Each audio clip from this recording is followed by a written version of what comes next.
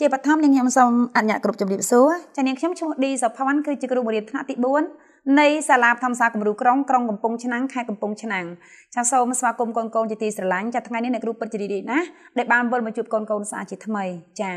ដោយកូនដឹងហើយថាជំងឺ Covid-19 នៅក្នុង ប្រទេសកម្ពុជាក៏ដូចជាបណ្ដាប្រទេសផ្សេងផ្សេងទៀតពុំទាន់មានភាពស្ងប់ស្ងាត់នៅឡើយដូច្នេះអ្នកគ្រូនៅតែបន្តការបង្រៀនកូនកូនពីចម្ងាយណាកូនណាអញ្ចឹងសូមឲ្យកូនកូនទាំងអស់គ្នាចូលរួមរៀនឲ្យបានគ្រប់គ្នាចាហើយការចូលរួមរៀនពីចម្ងាយគឺធ្វើឡើងតាមរយៈបណ្ដាញសង្គមជាច្រើនដូចជាអឺទំព័រ Facebook ជាផ្លូវការរបស់ក្រសួងអប់រំយុវជននិងកីឡាចាគ្រូ Cambodia YouTube និងបណ្ដាញប៉ុស្តិ៍ទូទួលផ្សេងផ្សេងដូចជា Wiki TV តតក2ទូរទស្សន៍ខ្សែកាប និងបណ្ដាញផ្សព្វផ្សាយជាច្រើនទៀតចាអ្វីដែលកូនមិនអាចភ្លេចបាននោះគឺការចូលរួមថែរក្សាអនាម័យណាកូនណាចាកូនកូនត្រូវតែគោរពទៅតាមការណែនាំរបស់ក្រសួងសុខាភិបាល ចាដែលអនុវត្តទៅតាមអឺការធ្វើអនាម័យដូចជាលាងសម្អាតដៃជាប្រចាំចាឬក៏ញឹកញាប់តាមរយៈការប្រើប្រាស់ទឹកនិងសាប៊ូចាការប្រើប្រាស់ជែលលាងសម្អាតដៃការប្រើប្រាស់អាល់កុល ចាការពាក់ម៉ាស់ឲ្យបានត្រឹមត្រូវមុនពេលដែលកូនមានទរៈចេញទៅក្រៅផ្ទះចាហើយនឹងកូនកូនជួយរួមក្នុងការរក្សាកម្រិតសង្គមផងដែរចាអរគុណកូនកូនទាំងអស់គ្នាតើកូនកូនទាំងអស់គ្នាបានត្រៀមខ្លួនហើយនៅក្នុងការចូលរួមរៀនជាមួយអ្នកគ្រូចាកុំភ្លេចណាកូនណាកូនទៅរកទីតាំងកន្លែងអង្គុយរៀនឲ្យបានសមរម្យចាហើយកូនត្រូវតែមានសម្ភារៈសម្រាប់ចូលរួមសិក្សាដូចជាសភើគូលភាសាខ្មែរថ្នាក់ទី4ចាកូនត្រូវមានសៀវភៅសរសេរសភើឯកាផ្ទះឬក៏សៀវភៅព្រៀងចាមានក្តារឈ្នួនដីស Word ចាចលបខ្មៅដៃប៊ិចនិងសម្ភារៈសិក្សាមួយចំនួនទៀតចាសូមកូនកូនត្រៀមទាំងអស់គ្នាកូនចាចាអរគុណចាស់កូនទាំងអស់គ្នាអញ្ចឹងអំបញ្ញមិញអ្នកគ្រូបានធ្វើការរំលឹកកូនអំពីការយកសម្ភារៈសិក្សាមកដាក់លើតុណាកូនណាអញ្ចឹងគឺសង្ឃឹមថាកូនបានរៀបចំហើយជាស្រេចនៅសម្ភារៈសិក្សាដើម្បីចូលរួមរៀនជាមួយអ្នកគ្រូទាំងអស់គ្នាអរគុណកូនអញ្ចឹងភាសាខ្មែរកាលពីថ្ងៃមុនយើងរៀនអំពីអ្វីណាកូនចាអញ្ចឹងយើងរៀនអំពីការតែងកថាខណ្ឌខ្លីតាមរយៈអីគេកូន សំណួរហើយនឹងរូបរូបភាព ការតែងកថាខណ្ឌខ្លីតាមរយៈសំណួរនិងរូបភាពណាកូនណាអញ្ចឹងសុំកិច្ចការផ្ទះមកកូនមកចាសុំកូនយកកិច្ចការផ្ទះឡើងទាំងអស់គ្នាចានេះគឺជារូបភាពកិច្ចការផ្ទះរបស់យើងណាកូនណាចាអ្នកគ្រូឲ្យកូនធ្វើអីកូនតាមរយៈរូបភាពនេះគឺឲ្យកូនបង្កើតជាសំណួរចាឲ្យបានយ៉ាងយ៉ាងតិច2ណាកូនណាឬក៏3ចាហើយឲ្យកូនបង្កើតទៅជាកថាខណ្ឌខ្លី ចាអញ្ចឹងពេលថាកថាខណ្ឌខ្លីមិនកំណត់អីកូនណាអាចចេញមកជា3ល្បាសឬក៏4ល្បាសណាចាតែកុំភ្លេចកណាមានរូបភាពកូនត្រូវតែផ្សារភ្ជាប់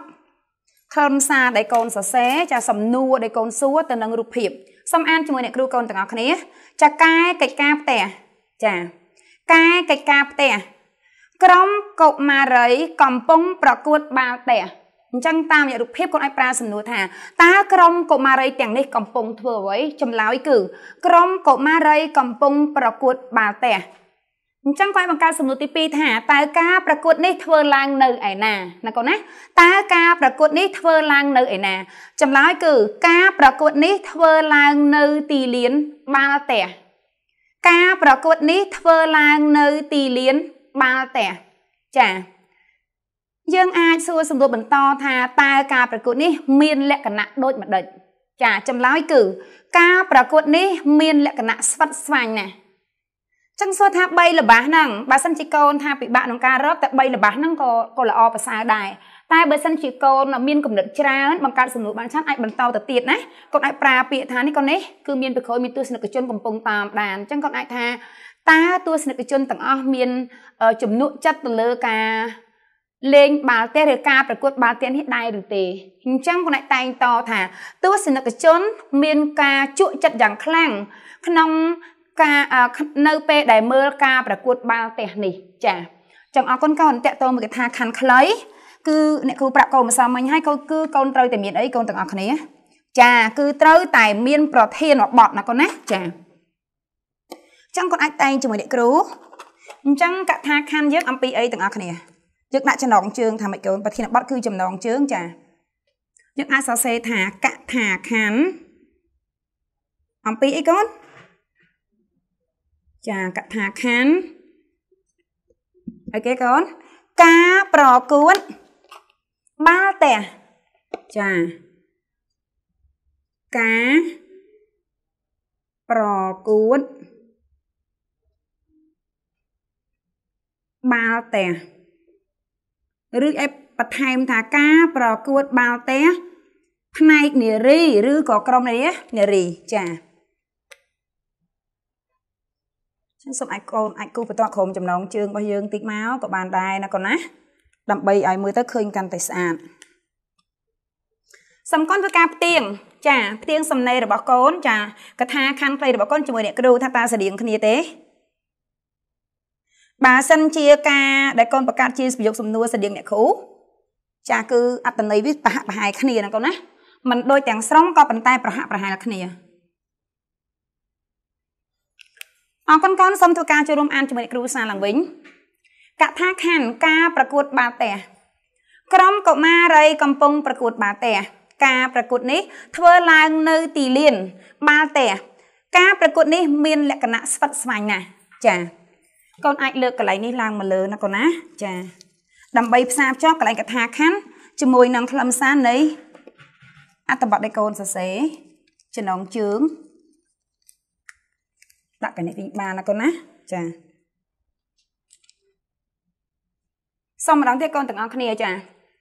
កែកិច្ចការផ្ទះកថាខណ្ឌការប្រកួតបាល់ទះ ក្រុមកុមារីកំពុងប្រកួតបាល់ទះការប្រកួតនេះធ្វើឡើងនៅទីលានបាល់ទះការប្រកួតនេះមានលក្ខណៈស្វិតស្វាញណាស់អរគុណចានកូនទាំងអស់គ្នាសង្ឃឹមថាកូនបានធ្វើការទៀងទាត់និងកែលម្អណាកូនណាប្រសិនបើកន្លែងណាដែលកូនគិតថាមើលទៅល្អបើអ្នកគ្រូសរសេរបានល្អកូនអាចចម្លងទុកណាកូនណាចាអរគុណចឹងថ្ងៃនេះនេះគូនឹងមានមេរៀនថ្មីមួយទៀតមកបង្រៀនកូនដែលតាក់ទងជាមួយនឹងអំណានអញ្ចឹងអំណានកាលពីមេរៀនថ្ងៃមុនមេរៀនចាស់របស់យើងរៀនអំពីអីកូនទាំងអស់គ្នា ចាគឺរៀនអំពីកីឡានិងល្បែងមានសុវត្ថិភាពចាអញ្ចឹងអ្នកគ្រូសុំសួរសំណួរកូនរំលឹកបន្តិចថាហេតុអ្វីបានជាកូនលេងកីឡាទាំងអស់គ្នាចាការលេងកីឡាធ្វើឲ្យកូនមានសុខភាពល្អណាកូនណាចាមានបញ្ញាស្មារតីភ្លឺថ្លា មានកម្លាំងកាយមាំមួនចាក៏ប៉ុន្តែកូនត្រូវចាំថាការលេងកីឡាកូនតាត្រូវតែជ្រើសរើសទីកន្លែងលេងឲ្យបានសមរម្យដើម្បីឲ្យកូនទាំងអស់គ្នា មានសុវត្ថិភាពនៅក្នុងការលេងណាកូនណាចាអរគុណចាំងកូនចឹងសូមបន្តទៅមេរៀនថ្មីមួយទៀតចាសូមកូនចូលរួមតាមដានទាំងអស់គ្នាហើយនេះគ្រូសូមបកកន្លែងកិច្ចការណាកូនណាហើយសង្ឃឹមថាកូននឹងបានកែរួចរាល់ហើយចាអញ្ចឹងសូមកូនបន្តចូលមើលរូបភាពថ្មីកូនមើលរូបភាពជាមួយអ្នកគ្រូមើលកូនថាតើរូបភាពនេះចង់និយាយអំពីអ្វីចាកូនមើលរូបភាព ហើយសាក់លបងគិតសាក់លបងឆ្លើយណាកូនណាថាតើរូបភាពមួយនេះបង្ហាញកូនអំពីអ្វីចាអរគុណចាកូនទាំងអស់គ្នាធ្វើការទស្សទាយរៀនឆ្លើយមកកូនពីចម្ងាយមកចាអញ្ចឹងក្នុងរូបភាពនេះគឺមានក្រុមកុមារណាកូនណាគឺមានក្រុមកុមារៃកុមារាកំពុងឲ្យចូលរួមធ្វើអីកូន ហើយមានបរិមម្នាក់ហ្នឹងកាន់ទងជាតិប្រហែលជាលោកគ្រូមែនទេកូនចាហើយនឹងមានទស្សនិកជនចូលរួមមើលទៀតចាគេកំពុងអីកូនទាំងអស់គ្នាចាកំពុងទៅរត់អញ្ចឹងកាលណាមានទងជាតិដាក់លើកចុះលើកឡើងទៅដល់ទីដៅអីអញ្ចឹងណាចាគឺតកតងជាមួយនឹងការរត់ការរត់ប្រណាំងចុះតួអង្គកុមារម្នាក់នេះយើងមិនដែរកូនគាត់មិនបានជាដូចជាមានរបៀបអីកូនដួលទេកូនណាចាហើយមានបែកញើសជោកខ្លួនតែម្ដងហើយអ្នកផ្សេងរត់ទៅមុនគាត់អស់រលីងណាកូនណាចាអញ្ចឹងតែចំណងជើងអំពីអីមេរៀននេះ ចាតាមដានជាមួយអ្នកគ្រូទាំងអស់គ្នាកូនចាអញ្ចឹងកុមារាម្នាក់ហ្នឹងឈ្មោះថាកុមារាតុលាណាកូនណាចាអញ្ចឹងថ្ងៃនេះអំណានរបស់យើងរៀនអំពីជ័យជំនះរបស់តុលាហើយទៅជ័យជំនះកូន ចាគេជ័យជំនះគឺបានមកពាក្យថាការឈ្នះណាកូនណាចាឈ្នះអញ្ចឹងរឿងការឈ្នះរបស់តុលាមិនទៅកូនចា ចឹងឆ្លងកាត់តាមរូបភាពសូមធ្វើការទូទាញអត្តន័យនៃខ្លឹមសារមេរៀនថាតើមេរៀនយើងថ្ងៃនេះរៀនអំពីអ្វីតាមរូបភាពនេះកូនចឹងតាកុមារាដែលដួលនឹងឈ្មោះអីគេកូនតុលាមែនទេចុះគាត់ដួលសោះហើយបានយើងនិយាយថាជ័យជំនះរបស់តុលាវិញកូនចាសូមចូលរួមទូទាញរៀងរៀងខ្លួនណាកូនណាហើយបន្តិចទៀតយើងនឹងធ្វើការផ្ទៀងផ្ទាត់គ្នា ចាអរគុណចាងកូនទាំងអស់គ្នាប្រសិនបើកូនចង់ដឹងច្បាស់ចាកូនបើកសភៅភាសាខ្មែរនៅទំព័រទី 12 13ណាកូនណាហើយនៅក្នុងមេរៀននេះផងដែរគោលបំណងនៃមេរៀនអំណានចង់ឲ្យកូនកូនទាំងអស់គ្នាចេះអានពាក្យពិបាកចេះអានអត្ថបទដោយយល់ន័យចា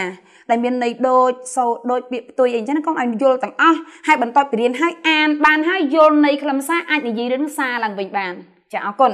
សូមអានជាមួយអ្នកគ្រូសិនកូនភាសាខ្មែរថ្នាក់ទី4មេរៀនទី1កីឡានិងល្បែងកំសាន្តអំណានរឿងជ័យជំនះរបស់តុលាទំព័រទី12 13 ចាអរគុណសង្ឃឹមថាកូនបើកសិភៅហើយហើយទំព័រទី12 13សំខាន់កូនទាំងអស់គ្នាចាប់ដើមធ្វើការអានស្ងាត់ហើយកុំភ្លេចកូនទៅប្រើចង្អុលដៃស្ដាំចង្អុលឲ្យចំតួអក្សរនីមួយៗដើម្បីកុំឲ្យរំលងពាក្យណាកូនណាចាហើយស្លឹកពណ៌នេះដាក់ចូលដើម្បីគេកូនឲ្យងាយស្រួលក្នុងការរកទំព័រទៅថ្ងៃក្រោយរៀនដល់ទំព័រណាកូនដាក់กระดาษរាមពណ៌ទូចមួយចាកំណត់សម្គាល់ណាកូនណាដើម្បីងាយស្រួលក្នុងការបើករកចាចាប់5អានកូនទាំងអស់គ្នាអានស្ងាត់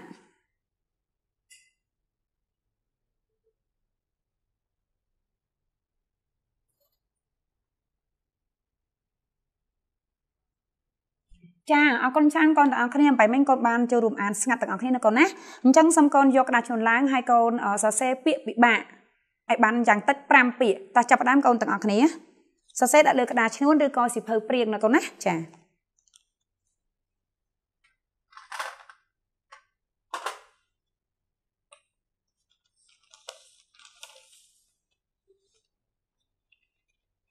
ចាអរគុណកូនតោះចាប់ផ្ដើមធ្វើការផ្ទៀងពាក្យមួយអ្នកគ្រូមើលថាមានពាក្យស្តៀងអ្នកគ្រូអរគុណ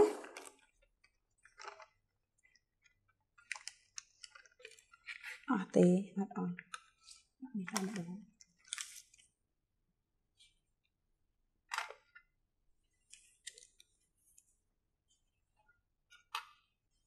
អានមុនអ្នកគ្រូណាកូនណា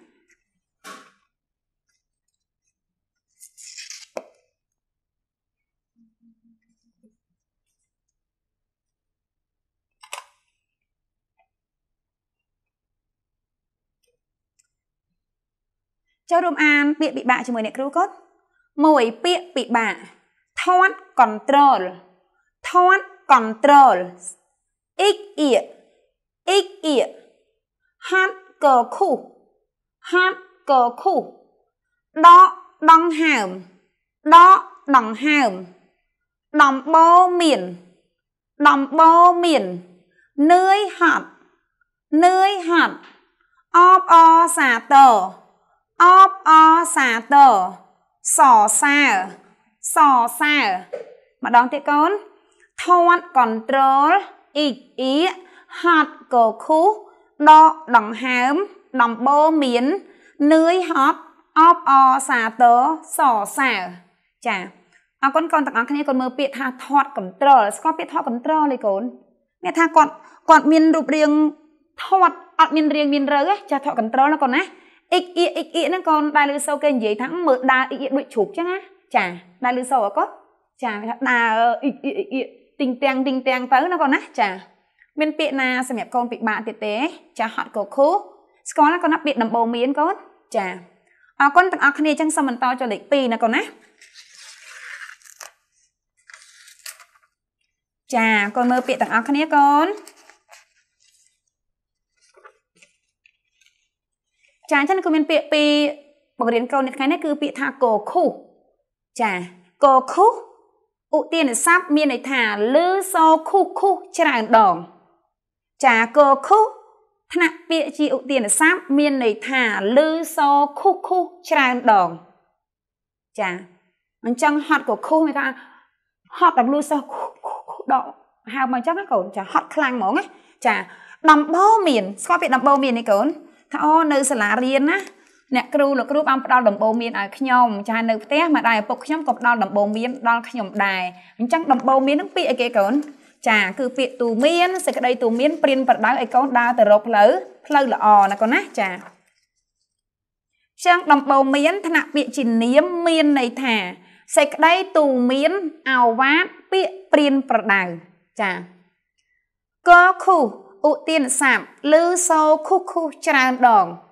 ដំបូងមាននាមសេចក្តីទូមានអាវាតពាក្យប្រដៅឬថាពាក្យព្រៀនប្រដៅណាកូនណាចាបានដូចគ្នាអរគុណចឹងសូមបន្តចូលនៃដូចណាកូនណា ចានៃដូចនឹងពាក្យក្បាលកូនស្គាល់ក្បាលទេទាំងអស់គ្នា ចានេះក្បាលរបស់យើងណាកូនណាអញ្ចឹងកូនរកពាក្យមើលហៅពាក្យថាតើពាក្យអ្វីខ្លះដែលមានអត្ថន័យស្មើនឹងពាក្យថាក្បាលកូនចា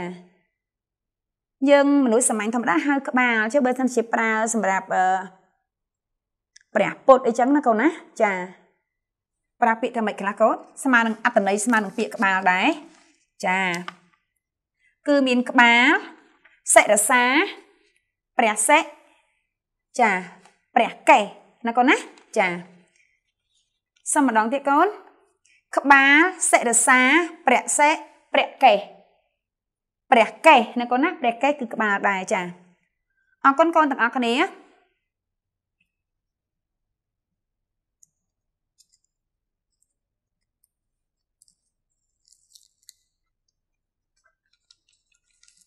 ចាសូមបន្តចូលពាក្យផ្ទុយណាកូនណាចាអញ្ចឹងតាអ្នកគ្រូមានពាក្យខ្លះបង្ហាញកូនថ្ងៃនេះកូនចាប់ពាក្យផ្ទុយនិងពាក្យថាលឿន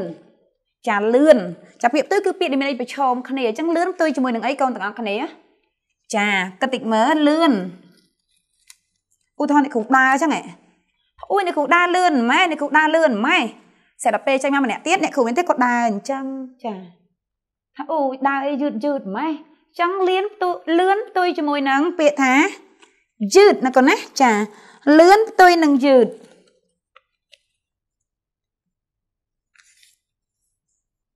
ចាពាក្យទី2ពាក្យស្រាលស្គាល់ស្រាលអីកូនចាឧទាហរណ៍ថាពេលដែលយើងកាន់របស់អីតូចមួយថាអ៊ុយស្រាលណាស្រាលតូចហ្នឹងណាកូនណាចាដល់ពេលយើងកាន់របស់មួយទៀតធំឧទាហរណ៍ណាចាធំថាអូកាន់មកធ្ងន់ហ្មងចាធ្ងន់អញ្ចឹងស្រាលផ្ទុយជាមួយនឹងពាក្យថា ធ្ងន់ចា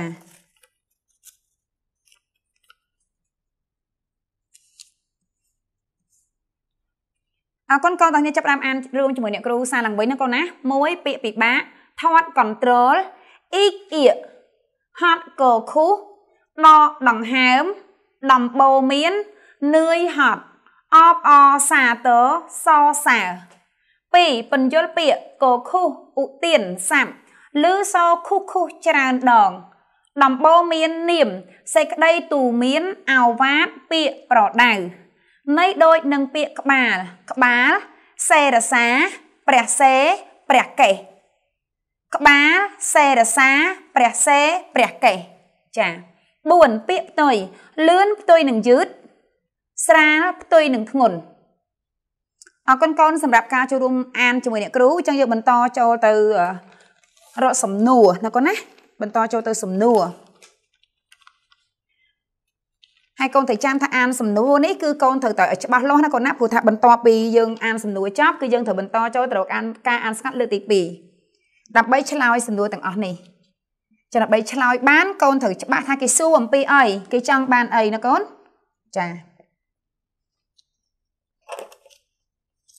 អានមុននេះគ្រូកូននៅតំពទី13 ទំព័រទី13ទាំងអស់គ្នា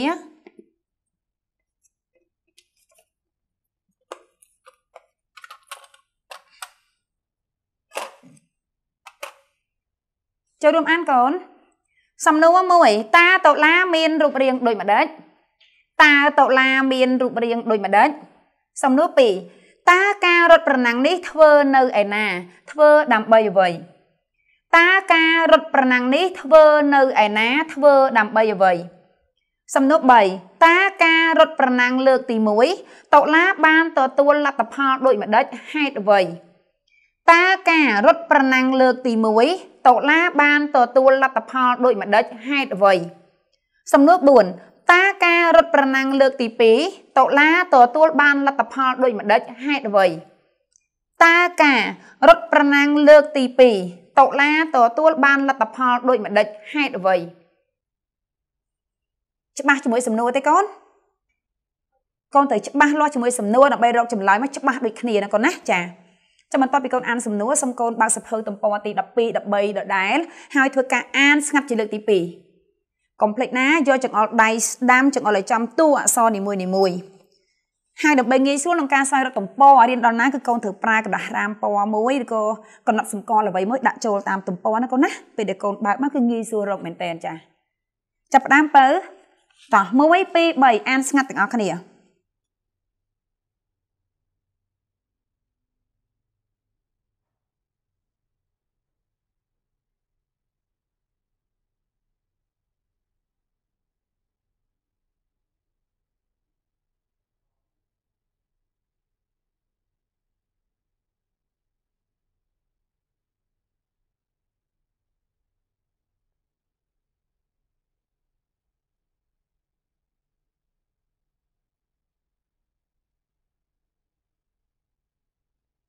អរគុណច្រើនកូន សង្ឃឹមថាកូនបានអានចប់ហើយអញ្ចឹងសូមកូនចូលរួមឆ្លើយសំណួរជាមួយអ្នកគ្រូណាកូនណា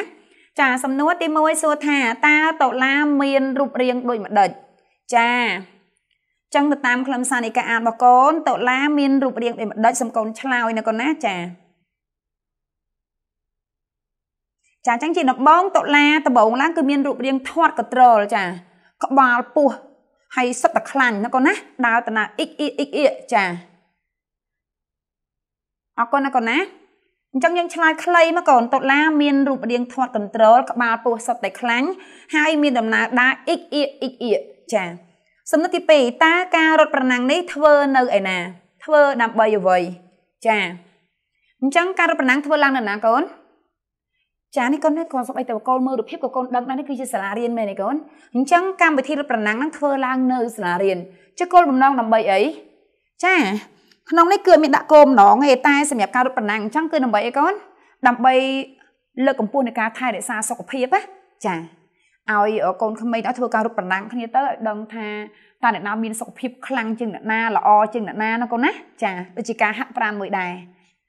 អរគុណទាំងអស់គ្នាសូមលេខ3 តើការរត់ប្រណាំងលើកទី1ចាកូនតើការរត់ប្រណាំងលើកទី1តុលាបានទទួលលទ្ធផលដូចម្ដេចហេតុអ្វីអញ្ចឹងក្នុងការរត់ប្រណាំងលើកទី1តុលាបានទទួលលទ្ធផលមិនល្អទេណាកូនណាកូនមើលរូបភាពក៏ដឹងដែរហ្នឹងដំបូងណាតុលាដំបូងនេះចាដោយសារគាត់ធាត់ពេក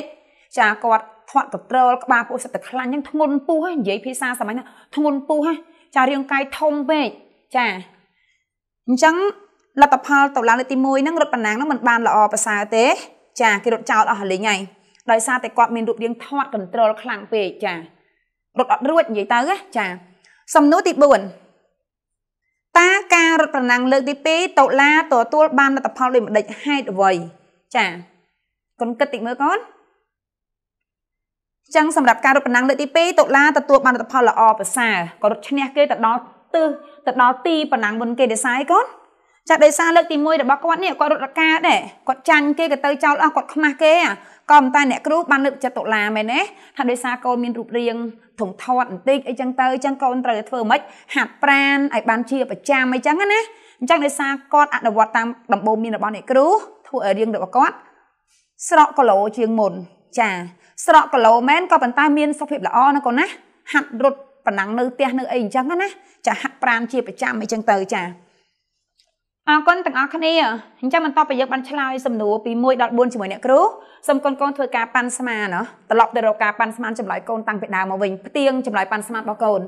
អ្នកគ្រូមិនសរសេរលើក្តារខៀនទេក៏ប៉ុន្តែអ្នកគ្រូឲ្យកូនប៉ាន់ស្មានរៀងរៀងខ្លួនចូលសភៅមែនទេកូនចាអញ្ចឹងកូននឹងអាចដឹងហើយថាជាមួយនឹងការឆ្លើយសំណួរទាំងអស់នេះចម្លើយកូនទស្សទាយពីខាងដើមយ៉ាងម៉េចណាកូនណាចាសង្ឃឹមថាកូនទស្សទាយត្រូវទាំងអស់គ្នាណាកូនណាចាអរគុណ ចឹងកូនអ្នកគ្រូសូមបន្តចូលទៅអត្ថបទការអានបទភាសាទៀតកូនកូនបើកសភៅទំព័រដដែលណាកូនណាទំព័រទី12 13ហើយសូមកូនអានលឺអានលឺដោយមានប៉ាឬម៉ាក់ឬក្រុមគ្រួសារកូនបងរបស់កូនអង្គុយនៅក្បែរក្បែរជួយស្ដាប់កូនណាថាតើការអានរបស់កូនបានត្រឹមត្រូវគ្រប់តួអក្សរដែរឬទេកុំភ្លេចចង្អុលដៃស្ដាំរបស់កូនត្រូវតែចង្អុលឲ្យចំតួអក្សរកុំអានរំលងណាកូនណាតោះចាប់ផ្ដើមកូនសូមអានលឺណាកូន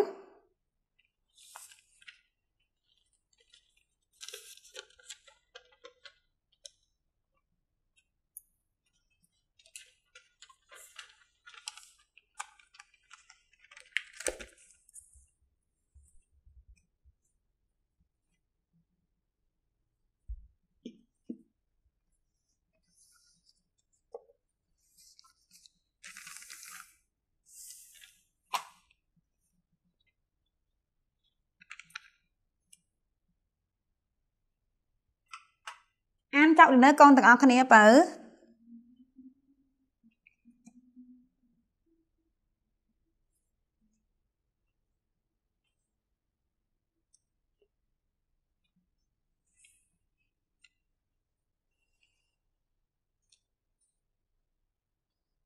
តោះអរគុណកូនសូមធ្វើការចូលរួមអានជាមួយអ្នកគ្រូទាំងអស់គ្នាតោះសូមសម្លឹងមើលមកក្តារខៀនណាកូនណាធ្វើការចូលរួមអានជាមួយអ្នកគ្រូចាចាប់ដើមកូន តុលាជាសិស្សថ្នាក់ទី4នៃសាលាបឋមសិក្សាតូឡាមានរាងធាត់ control ក្បាលពោះសុទ្ធតែខ្លាញ់ភ្នែកលឹបដំណើរអ៊ីកអ៊ីអ៊ីកអ៊ីថ្ងៃមួយសាលាមានកម្មវិធីប្រកួតរត់ប្រណាំងចម្ងាយ100ម៉ែត្រសិស្សជាច្រើនរត់យ៉ាងលឿនដល់ទី តាមពេលវេលាកំណត់ ចំណែកតូឡាវិញ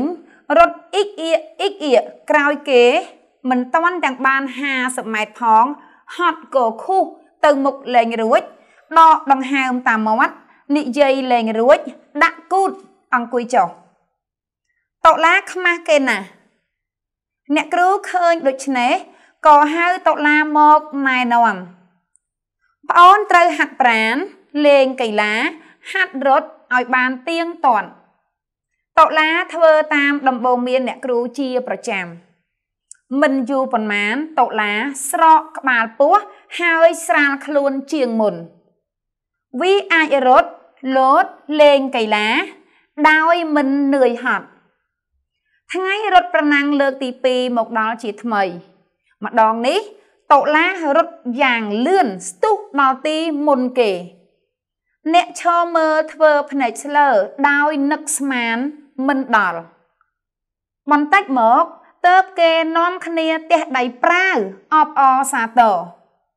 សិស្សទាំងអស់សរសើរតុលាគ្រប់គ្រប់គ្នា ចាយ៉ាងម៉េចដែរកូនទាំងអស់គ្នាបន្ទាប់ពីបានចូលរួមអានជាមួយអ្នកគ្រូមានពាក្យណាពិបាកសម្រាប់កូនទៀតអីកូនចារកមើលពាក្យពិបាកយើងរៀនហើយហើយណាកណែពាក្យខាងនេះអានជាមួយអ្នកគ្រូកូនធាត់ control ធាត់ control ខ្លាញ់ ខ្លាញ់ភ្នែកលឹបកូនស្គាល់ភ្នែកលឹបទាំងអស់គ្នាភ្នែកទូចណាកូនណាលឹបចាដោយសារធាត់ពេកនោះកូនសិតតែសាច់ហ្មងណាចាភ្នែកលឹបអ៊ីកអ៊ីអ៊ីកអ៊ីសញ្ញាលេខតូកូនចាកម្មវិធីកម្មវិធីទីទីស្គាល់ទីអកូនទីដៅគោលដៅរត់ប្រណាំងហ្នឹងណាចាសំដៅទៅលើកន្លែងណាចា តទៀតក៏មានពាក្យពិបាកសម្រាប់កូនទេបើចាហត់កខុសដកដង្ហើម ចាគូតតទៀតខ្មាស់ចាដូច្នេះហាត់ប្រាណលេងកីឡា ហាត់រត់ទៀងទាត់កូនមើលទៀងទាត់សរសេរស្រៈអ៊ីណាកូនណាចាដំបូន្មានមានពាក្យណាពិបាកទៀតទេកូននឿយហត់ ចា ស្ទុះស្ទុះស្គាល់ពាក្យស្ទុះអីកូនលឿនហ្មងណាចាស្ទុះលឿនតទៀតស្លើចាធ្វើភ្នែកស្លើធ្វើម៉េចទៅសើសើយ៉ាងឆ្ងល់អ៊ុយកូនថ្ងៃមុនរត់ឃើញដួលកដាលទីសោះហើយចាញ់គេចុងឯហ្នឹងក៏លឿនម៉េះចាចង់ជើភ្ញាក់ផ្អើលធ្វើម៉េចស្លើអញ្ចឹងណាអូនចាផ្ទះដៃប្រាវស្គាល់ផ្ទះដៃប្រាវអត់ផ្ទះដៃឡើងមកទំហឹងចឹងហ្មងអបអរសាទរណាកូនណាថាអូយលយមែនតែនល្អមែនតែនប្រកែណា ចាផ្ទះដៃប្រាវចាសរសើរចាមានពាក្យណាប្របាក់ស្រាក់កូនទៀតអីកូនតោះចូលរួមអានជាមួយអ្នកគ្រូម្ដងទៀតតូឡាជាសិស្សថ្នាក់ទី4នៃសាលាបឋមសិក្សាតូឡាមានរាងធាត់កន្ត្រូលក្បាលពោះសុទ្ធតែខ្លាញ់ភ្នែកលឹបដំណើរអ៊ីកអ៊ីអ៊ីកអ៊ី ថ្ងៃមួយសាលាមានកម្មវិធីប្រកួតរត់ប្រណាំងចម្ងាយ100ម៉ែត្រសិស្សជាច្រើនរត់យ៉ាងលឿនដល់ទី តាមពេលវេលាកំណត់ ចំណែកតុលាវិញរត់អ៊ីកអ៊ីអ៊ីកអ៊ីក្រោយគេ មិនតាន់ទាំងបាន50ម៉ែត្រផងហត់កខុសទៅមុខលែងរួចដកដង្ហើមតាមមាត់និយាយលែងរួចដាក់គូតអង្គុយចុះ តុលាខ្មាស់គេណាស់អ្នកគ្រូឃើញដូច្នេះក៏ហៅតុលាមកណែនាំប្អូនត្រូវហាត់ប្រាណលេងកីឡាហាត់រត់ឲ្យបានទៀងទាត់តុលាធ្វើតាមដំបូន្មានអ្នកគ្រូជាប្រចាំ មិនយូរប៉ុន្មានតុលាស្រកក្បាលពោះហើយស្រាលខ្លួនជាងមុនវាអាចរត់លោតលេងកីឡា ដោយមិននឿយហត់ ថ្ងៃរត់ប្រណាំងលើកទី2មកដល់ជាថ្មី ម្ដងនេះតុលារត់យ៉ាងលឿនស្ទុះដល់ទីមុនគេ អ្នកឈរមើលធ្វើភ្នែកស្លើដោយនឹកស្មានមិនដល់បន្តិចមកទទើបគេនាំគ្នាទះដៃប្រាវអបអសាទរសិស្សទាំងអស់សរសើរតុលាគ្រប់គ្រប់គ្នា ចាអរគុណច្រើនកូនទាំងអស់គ្នាយ៉ាងម៉េចដែរបន្ទាប់ពីអានម៉ានសាឲ្យកូន អ្នកគ្រូចាំដូចជា1 2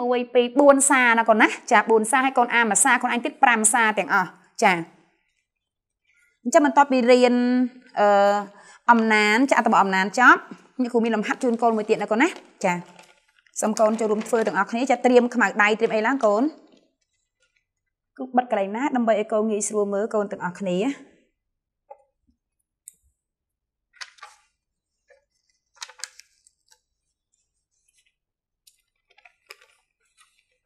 លំហាត់នេះវែងទៀតចា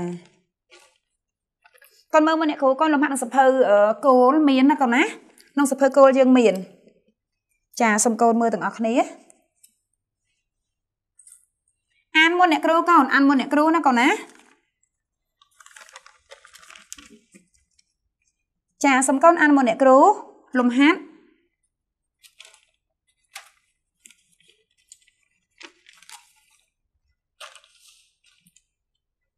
ចាដឹកខ្សាក្តារខៀនយើងតូចអ្នកគ្រូលេឲ្យកូនមើលមកស្រួលណាកូនណាចាអានមុនអ្នកគ្រូដើរយកចិត្តទុកដាក់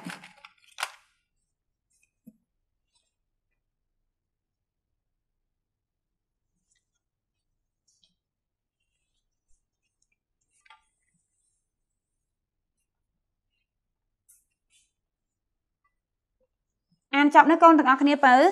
ប្រសិនបើលំហាត់នឹងងាយស្រួលកូនអាចធ្វើចម្លើយមុនណាកូនណាមុនការបញ្យលតែបើសិនជាកូនតាអូពិបាកចាំអ្នកគ្រូបញ្យលបានណាកូនណាចាសុំកូនកូនអានប្រធានឲ្យបានច្រើនដងកូន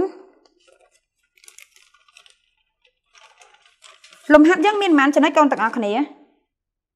ចាអរគុណកូនគឺមាន3ចំណុចគឺមានចំណុចកខហើយនិងកណាកូនណាចាកូនមើលចំណុចកមុនគេយល់អកូនកកសួរអំពីអីកូន ចាកចូលជ្រើសរើសចម្លើយណាដែលជាព្រឹត្តិការណ៍នៃរឿងរៀនព្រឹត្តិការណ៍ហើយនៅទាំងអស់គ្នាបើចាំទេកូនព្រឹត្តិការណ៍គឺជាហេតុការណ៍ដែលកើតឡើងក្នុងរឿងមែនទេកូនតាមរយៈសកម្មភាពរបស់តួអង្គចាឬក៏អ្វីអ្វីកើតឡើងចំពោះតួអង្គនៅក្នុងសាច់រឿងចា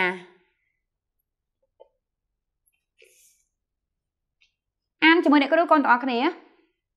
លំហាត់កចជ្រើសរើសចម្លើយណាដែលជាព្រឹត្តិការណ៍នៃរឿងចជ្រើសរើសចម្លើយណាដែលជាព្រឹត្តិការណ៍នៃរឿង1ថ្ងៃមួយសាលាមានកម្មវិធីប្រកួតរត់ប្រណាំង2តុលារត់ប្រណាំងបានពាក់កណ្ដាលទីទៅមុខលេងរួចដាក់គូតអង្គុយចុះ3តុលាខំហាត់ប្រានរត់លេងកីឡា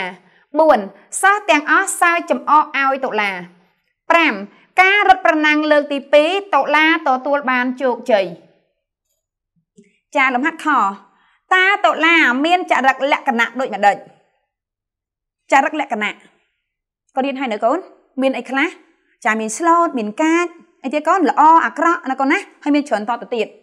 អញ្ចឹងតាតុលាមានចរិតលក្ខណៈដូចម្ដេចចូលគូសញ្ញាគ្រីក្នុងប្រអប់ចម្លើយចាមាន3គឺ1 slot board 2ខ្ជិលច្រអូស3ព្យាយាមអរគុណកូនកចូលជ្រើសនាមសាធារនៅក្នុងប្រអប់ខាងក្រោម រៀននាមសាធារហើយឬនៅចានាមសាធារគឺសំដៅទៅលើនាមទាំងឡាយណាដែរអីកូនទូទៅមិនចំពោះមែនទេកូនចា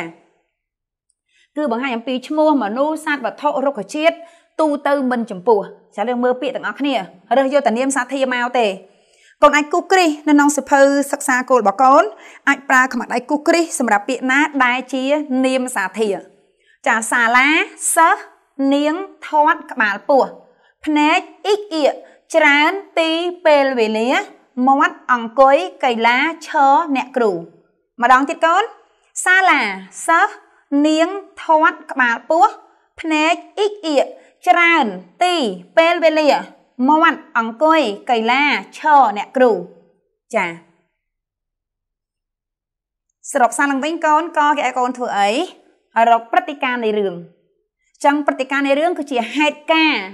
ដែលកើតឡើងក្នុងរឿងបង្ហាញអំពីសកម្មភាពតួអង្គឬក៏អ្វីអ្វីកើតឡើងទៅលើតួអង្គតាមរយៈការនិយាយរបស់តួអង្គផ្សេងក៏បានឬតាមការបកស្រាយរបស់អ្នកនិពន្ធណាកូនណាចឹងកូនរមើលហើយគូសញ្ញាគ្រីសចាខរកអីឲ្យយើងធ្វើអីចរិតលក្ខណៈចាគឺមាន3កូនរើសយកមួយចាចុះកគេឲ្យកូនធ្វើអីកូនចុះឲ្យពាក្យមកកូនណាកូនណាហើយឲ្យកូនរើសយកពាក្យនាមសាធា ចាអញ្ចឹងកូនមិនកាត់ក៏បានដែរគឺកូនមិនកាត់ទាំងអស់ឲ្យកូនអាចស្រង់ពាក្យណាដែលជានាមសាធាចូលទៅក្នុងសៀវភៅសរសេររបស់កូនចាប់ដើមអ្នកគ្រូទុកពេលជូនកូន15នាទីណាកូនណាចាប់ដើមបើ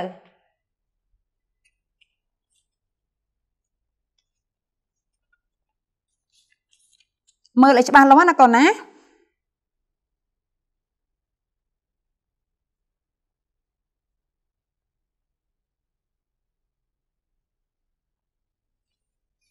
ចិត្តចាប់នៅកូនទាំងអស់គ្នាបើចាសុំកូនបង្ហើយទៅលើការធ្វើរបស់កូនរយៈពេល15នាទីចាជឿរើបានច្បាស់លាស់លឿនតែសុំច្បាស់លាស់ត្រឹមត្រូវសរសេរអក្សរឲ្យស្អាតណាកូនណាចិត្តដល់ពេលណាកូនបញ្ចប់កិច្ចការរបស់កូន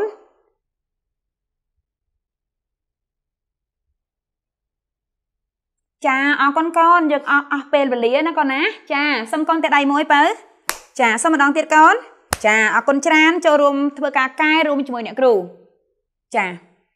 កចជ្រើសចម្លើយណា ដែលជាព្រឹត្តិការណ៍នៃរឿងមួយថ្ងៃមួយសាលាមានកម្មវិធីប្រកួតរត់ប្រណាំងនេះជាព្រឹត្តិការណ៍រឿងដែរឬទេ ចាជាព្រឹត្តិការណ៍គ្រីលេខ2តូឡារត់ប្រណាំងបានពាក់កណ្ដាលទីទៅមុខលេងរួចដាក់គូតអង្គុយចុះពាក់កណ្ដាលទីទីម៉ាន100ម៉ែត្រ រត់បានប្រហែលកូន50ម៉ែត្រអញ្ចឹង50ម៉ែត្រគឺជាពាក់កណ្ដាលនៃ100ណាអញ្ចឹងពាក់កណ្ដាលទីចាគឺជាព្រឹត្តិការណ៍ត្រឹមត្រូវចាបន្តកូន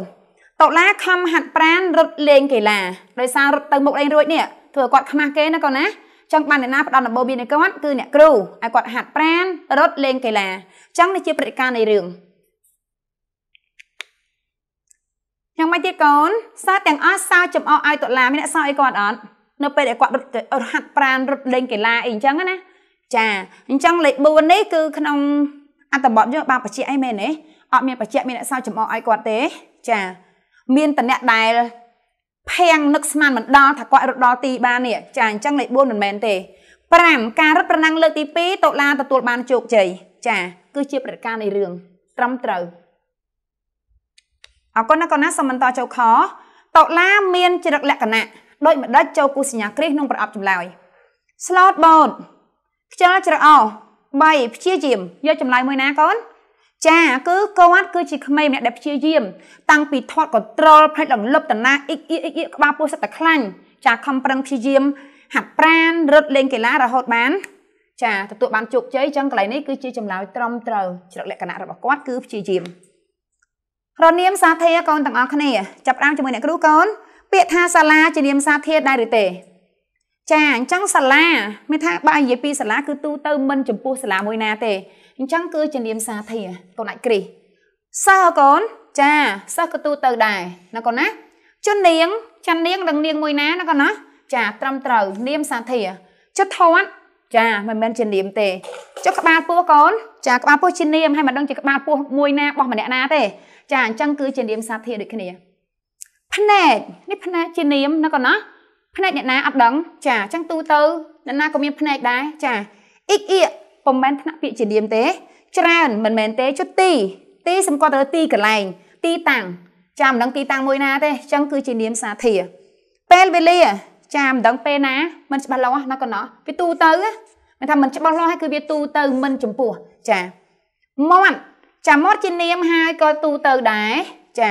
អង្គុយចាកិច្ចស័ព្ទកីឡាចាមិនដឹងជាកីឡាប្រភេទអីទេ មានច្រើនណាស់ចាអញ្ចឹងទូទៅឈរកិរិយាស័ព្ទចុះអ្នកគ្រូចាអ្នកគ្រូមិនបានប្រាប់ឈ្មោះហ្នឹងអញ្ចឹងអ្នកគ្រូក៏ទូទៅដែរណាកូនណាចាអរគុណចានកូនទាំងអស់គ្នាអញ្ចឹងបន្ទាប់ពីការរៀនជាមួយអ្នកគ្រូគឺកូនបានចេះច្រើនណាស់ណាកូនណាចេះតាំងពីពាក្យពិបាកបញ្យលពាក្យនៃដូចពាក្យផ្ទុយហើយសរុបមកវិញខ្លឹមសារនៃមេរៀនមួយនេះអំណាននេះគឺចង់អប់រំកូនអំពីអី ចាគឺឲ្យកូនកូនទាំងអស់គ្នាធ្វើជាចង់និយាយថាយកគំរូតាមតុលាដែលជាក្មេងយ៉ាងម៉េចកូនចាតស៊ូខិតខំព្យាយាមតាំងពីចាប់ផ្ដើមមកមុនដំបូងគាត់បរាជ័យក៏តែដោយសារគាត់តស៊ូខិតខំព្យាយាមទើបគាត់ទទួលបានជោគជ័យនៅទីបញ្ចប់កូនដូចគ្នាណាកូនណាឧទាហរណ៍ថាដើមឆ្នាំគរិយសិស្សបកែចឹងកូនត្រូវតែខិតខំរៀនសូត្រឲ្យបកែព្យាយាមរៀនដើម្បីឲ្យកូនទាំងអស់គ្នាខ្លាយទៅជាសិស្សពូកែ ការងារអ្វីមួយក៏អញ្ចឹងដែរបើសិនបើចាប់ផ្ដើមដោយមិនបានជោគជ័យកូនកុំអស់សង្ឃឹមណាកូនណាកូនត្រូវខិតខំតស៊ូព្យាយាមរត់ដំណោះស្រាយវាទើបកូនទទួលបានជោគជ័យចាអរគុណច្រើនកូនទាំងអស់គ្នាអញ្ចឹងមុននឹងបញ្ចប់រៀនអ្នកគ្រូមានកិច្ចការផ្ទះជូនកូនចាចឹងគ្រូជូនកូនអំពីកិច្ចការផ្ទះកូន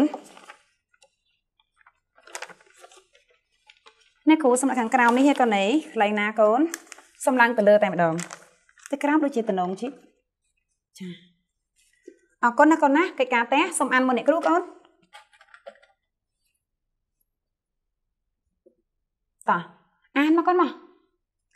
ចកូនកូនតែងល្បះជាមួយនាមសាធារខាងក្រោមនេះចឹងទាំងអស់សិស្សសង្ឃជានាមសាធារតែងជាល្បះ1ពាក្យអ្នកគ្រូចាប់2សិស្ស3នាង4កីឡា5សាលាចឹងកិច្ចការផ្ទះអ្នកគ្រូចង់កូនធ្វើអីកូនចាគឺយកពាក្យនាមសាធារទាំងអស់តែងចេញជាល្បះ អរគុណច្រើនកូនទាំងអស់គ្នាអញ្ចឹងថ្ងៃនេះអំណានរបស់យើងចារឿងជ័យជំនះរបស់តុលាទំព័រទី12 13គឺបានបញ្ចប់ត្រូវបានដល់ទីបញ្ចប់ណាកូនណាចាអញ្ចឹងអ្វីដែលគ្រូចង់រំលឹកកូនសានឹងវិញខិតខំប្រឹងប្រែងធ្វើយ៉ាងម៉េចឲ្យទទួលបានជ័យជំនះដូចជាតុលាអញ្ចឹងណាកូនណាចាអរគុណណាកូនសម្រាប់ការចូលរួមរៀនជាមួយអ្នកគ្រូនាថ្ងៃនេះចាអ្នកគ្រូសូមប្រាំផ្ញើឲ្យកូនទាំងអស់គ្នាយកកិច្ចការផ្ទះអ្នកគ្រូទៅធ្វើ ចាឲ្យបានគ្រប់គ្នា